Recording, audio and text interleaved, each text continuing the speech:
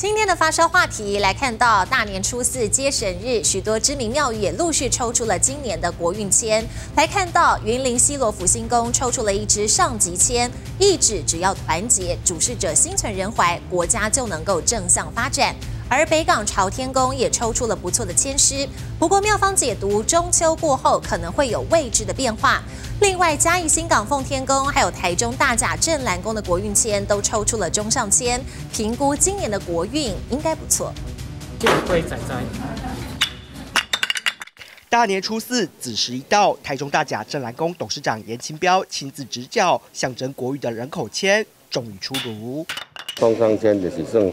啊，国运也好，啊时机啊，大家爱把握好。这回国运签抽中一支中上签，劝君绑定心莫虚，前途清吉得运时，到底中间无大事，忧郁神仙守安居。妙方解读，今年会是大破大立的一年，很不错，各行各业机会很多。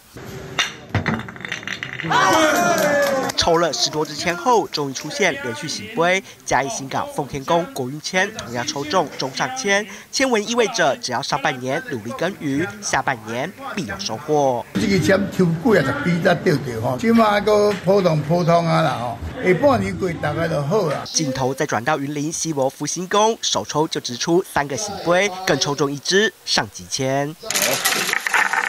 前世内容，功名得意与君显，前途富贵喜安然。若遇一轮明月照，十五团圆光满天。妙方解签，只要国人团结，主事者做事光明，国家就能风调雨顺。只要咱有一个心存仁怀，啊，做事光明正大，百姓大家团结，一定会未歹。而北港朝天宫代表国民的港运签也顺利抽出。啊，半年多吼，可能有小有变化，啊，所以恁各行各业吼。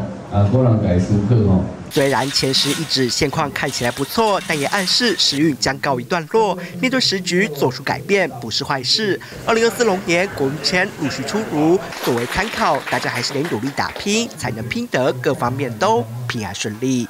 记者综合报道。